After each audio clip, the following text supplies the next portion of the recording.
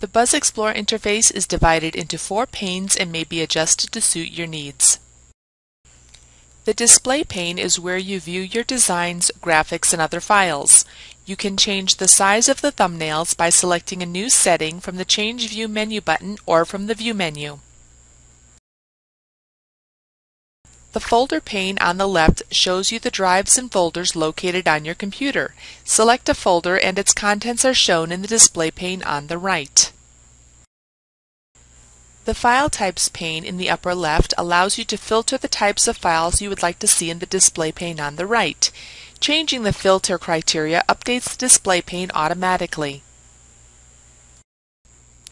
You may quickly view all file types by turning off the Filter toggle button located next to the Display Zips button at the top of the screen. In the same manner, the holding area may be opened or closed via the Shortcut button also located at the top of the screen. And just like in all Windows programs, these panes may be sized by dragging the divider bars to accommodate your needs.